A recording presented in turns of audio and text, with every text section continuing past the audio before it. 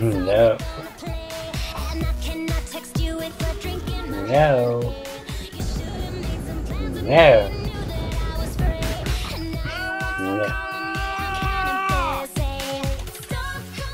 Yeah. Yeah. Caveman True Paleo Formula with bone broth, a chocolate flavoured drink mix made from bee pollen, stevia, and the dust of chicken skeletons. Now, according to InfoWars, it is one of the most popular new health trend in the world today. And by the look on Jones's face, it tastes exactly as good as it sounds. Pour that in on a couple ice cubes. And folks, it tastes when it's creamy and thick. I think better than Ovaltine.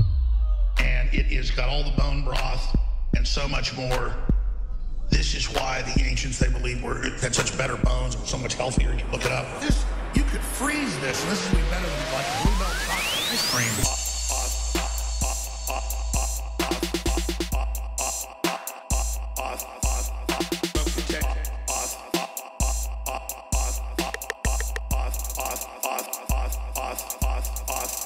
Why the angel.